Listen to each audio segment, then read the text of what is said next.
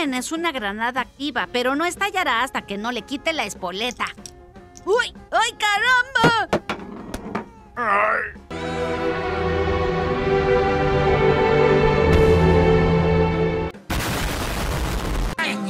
¡Los Simpson! Ahora veremos Mejor que Ned. La historia comienza con el abuelo contándole a Bart que en Francia hay una estatua suya del día que se rindió, ya que decidió no pelear. ¡Guau, abuelo! Tus historias son muy interesantes. Responde que sí, y ahora está mejor porque toma muchos medicamentos. De paso, le dice que quiere darle su posesión más preciada. Le pide que lo abra. Resulta que dentro hay una peligrosa granada. Estallará en 5 segundos si tiras de la espoleta. Uh -oh. Grita que todos están perdidos, que rece por su vida, aunque se niega a hacerlo. Luego de unos segundos se entera que el abuelo le hizo una broma. Bar le dice que eso fue muy divertido y quiere que se la preste, pero se ha quedado dormido. Ay, se durmió. Significa que sí. Le da un besito y se va a jugar. En la escuela Skinner informa que son el primer lugar en sedentarismo, que eso es muy malo. Igual tienen una nueva mascota de hockey y es Spinny el buitre. Y detrás de eso se encuentra a Kit. Milhouse, no me dijiste que tu papá tenía otro mal empleo. Lo malo es que ni siquiera es bueno para la chamba. De repente sube el Barty, les enseña la granada, pero les dice que no tengan miedo, que no estallará hasta que le quite la escoleta. Así que la tira. Todos comienzan a correr. Los estudiantes están perdidos. Flanders es todo un héroe, aunque Barles dice que era una broma. El pobre Screener hasta mojó los pantalones. Todos comienzan a decirle que eso no fue gracioso. Los padres llegan a buscar a sus hijos. Nelson se pone feliz porque su madre ha llegado a verlo, aunque realmente llegó con su nuevo papá, el señor Bigotes. Mamá, prometiste que ya no vendrías borracha a la escuela. Responde que le falló de nuevo, pero es día de pago y por eso está allí. Por último se queda dormida en el casillero, cosa que tiene muy triste a Nelson. Hijo, obligaste a este hombre a saltar sobre la granada segundos antes de que yo lo hiciera. El inspector agrega que será expulsado. Flanders les pide que no lo hagan, que ha vivido junto a ese niño por tres años y no es malvado, que lo dejen trabajar con él. E incluso se pone a pedirle a Dios que lo ayude. Pero el inspector le dice que está en una escuela pública, que no puede meter a Dios. En ese momento saca el celular para buscar a la gente que lo apoya. Le dice que tiene 250 plegares verificadas y que podría darle a todos el número de su oficina. Responde que no expulsará a Bart con la condición de que Flanders vigile a ese niño y lo aleje del mal ejemplo de su padre, cosa que pone feliz a Homero. Al salir Lisa le presume que mientras él es un fracasado, ella está en el club de francés, hasta se burlan de él en otro idioma que ni siquiera entiende. Todos son muy malvados. Un rato después Flanders los lleva a que lo ayude a lavar los platos. Oh, oh, me corté.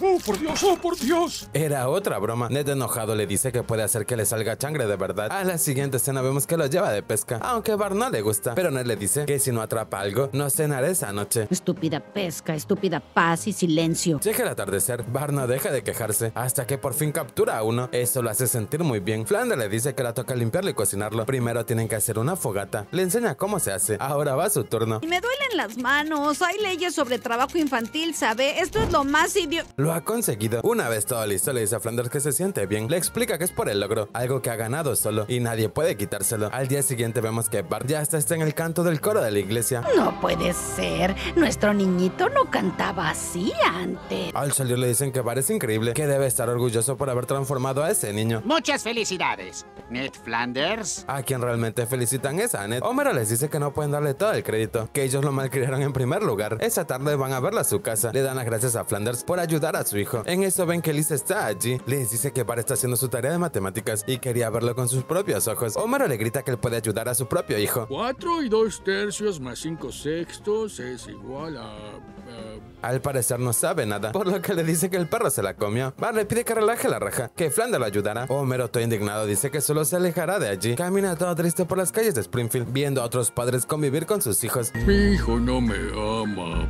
Le responde que su hijo lo aprecia, que cuando sea mayor lo tratará con respeto. Entra al basurero, donde se encuentra el pobre Nelson llorando. Le dice que igual está muy triste, que no debería estar solito en ese lugar. Le grita que a nadie le importa, que su papá se fue y su madre es una borracha, que su última comida sólida fue un cubo de hielo y su televisor es una caja de leche con una ardilla adentro. Eso deja pensando a Homero. Ese niño es un desastre y hasta él podría ayudarlo si se lo propone. Así que debería usarlo para vengarse con Bart. Me corto el cabello escondiéndome en los arbustos cuando viene el jardinero. Continúa pensando si realmente debería hacerlo, que debería ser malo aprovecharse de sus sentimientos para hacer sentir mal a su hijo. Pero luego de tanta reflexión decide que lo ayudará. A la siguiente escena están comiendo hamburguesas. Le dice que él podría ser su mentor, que hay muchas cosas que podría enseñarle. Incluso podría conseguirle un doctor para que le arregle los dientes. ¿Hay un doctor para dientes? ¡Wow! Al día siguiente va a buscarlo, pero antes le marca a Bart para decirle que saldrá con Nelson. Aunque la llamada le llegó a Lisa, le dice que no debe ser mentor de Nelson para vengarse de Bart, aunque él solo le manda una foto de su feliz relación. Bien, niño, te enseñaré cómo empacar para cuando tu esposa te eche de la casa. Aunque Nelson no sabe ni lo que es una maleta, así que le dice que mejor hablarán de otra cosa. Pero antes le pregunta si está saliendo con su madre. Responde que no. ¡Oh! ¡Nadie había dicho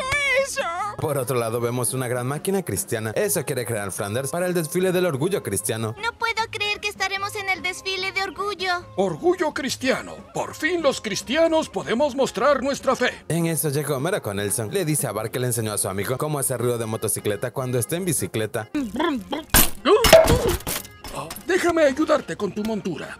Por último le dice que ahora ellos dos son conocidos como Melson y se van a recorrer las calles, lo que deja muy triste a Bart. Lisa le dice a su madre que tienen que hacer algo, pero responde que no, que es complicado, que los dos niños reciben ayuda, así que hay que dejarlo así. Pero la salamera de Lisa no piensa quedarse conforme, se va a buscarlos a la taberna de Moe. Le pregunta que sí que le está enseñando a Nelson, mientras que vamos viendo todas las cosas que hace en la taberna. Toma 40 dólares. Es mucho dinero para mí. Pero quiero que recibas terapia por esto que estás haciendo. Le exige que tome el dinero y consiga ayuda, que ella tiene que ser la voz de la moral, aunque le responde que no es cierto, que no tiene que ser eso, que puede ser solo una niña normal. Bueno, me gusta ser la voz de la moral. A nadie le importa. El caso es que decide aceptar el dinero. Pasamos a la oficina de terapia y revisión de contaminantes vehicular. Allí está Gil. Llega a la conclusión que él tiene miedo al éxito porque su padre nunca tuvo tiempo para él. Pero como se le acabó su tiempo, no logró completar su reflexión. ¡Ay, ahora me siento peor que cuando llegué! Lo veré en un mes. Toca el turno de Homero. Le dice que por 40 dólares tiene 10 minutos, así que le dice que es el mentor de otro niño para darle celos a su hijo. Y pasó algo raro, ya que le agrada el pequeño Nelson. Estoy abrumada. Está arruinando la vida de dos niños por su mezquino ego. Responde que una buena terapeuta debe decirle que todo lo que haga está correcto. Pero eso solo pasa cuando el paciente es millonario. Al día siguiente, Homero se va a buscar a Nelson, pero se encuentra con su madre. En corto sube sobre él. Le dice que sabe que pasa tiempo con su hijo para darle celos a Bart. Tarde o temprano tendrás que dejarlo, como todos los demás. A él le enseña el montón de padres que ha tenido Nelson en los últimos cuatro años y todos los han abandonado. No es un cuadro, sino son tres. Ya está mandó a poner el cuarto. Esa señora no pierde el tiempo. Le pide a Homero que por favor no rompa el corazón de su hijo. Oiga, no vine a salvar el mundo. Soy un mentor. Llego, enseño y me voy. Se va a buscarlo. Ahí lo ve muy feliz. Homero le dice que necesitan hablar, pero eso pone muy mal a Nelson. Le grita que sabe que ya lo va a abandonar, pero antes le confiesa que solo lo usó para castigar a su hijo. ¡Lo sabía! ¿A dónde vas? Responde que irá a vengarse, que se desquitará con Bart. Le pide que no lo haga, que quiere a su hijo, pero corre hacia la casa de la venganza, donde planea salir corriendo hasta llegar al festival y hacerlos caca a todos. Pasamos al orgullo cristiano, algo muy contradictorio, porque el orgullo se considera como el pecado fundamental, de donde surgen los demás pecados. Bart no está muy a gusto, y ahí está Nelson. En eso llega Homero. A la par, Nelson sube hasta lo más alto de un edificio, donde puede verlo todo. Enseguida transforma su cruz en una resortera. El mayor le da las bienvenidas a todos. Agradece al patrocinador del evento, Monty. Vota por Dios y Diamante. Les explica que cuando todos hayan pasado por el camino de Dios, unas gigantescas manos se cerrarán en oración. Homero ve que Nelson quiere hacer que las manos se cierren cuando pase Bart. ¡Aplastar a Bart! ¿Dónde está Flanders ahora? Aquí estoy. ¿Qué necesitas? ¡Aléjate de mí! Comienza a correr hacia él. Todo el ambiente se pone tenso. Nelson lanza la piedra, justo da donde quería. Homero ha salvado a Bart. Todo herido le pide que viajen juntos en la ambulancia. Igual le regala un poco de oxígeno. Soy un gran papá. Fin. No, nos quedamos cortos. Se va a pedirle disculpas a Nelson. Agrega que es un chico genial. Un día beberán cerveza juntos y se reirán por todo. Pero igual conoce a alguien que podría ayudarlo, que es mucho mejor que él.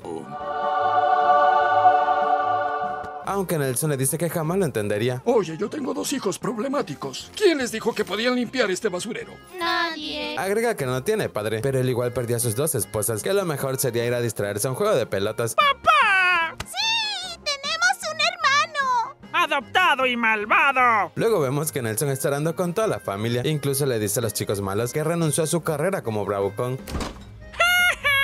Terminándose así esta gran historia. Muchas gracias por haberte quedado hasta el final. Y acá te dejo otro videito para que pases a verlo.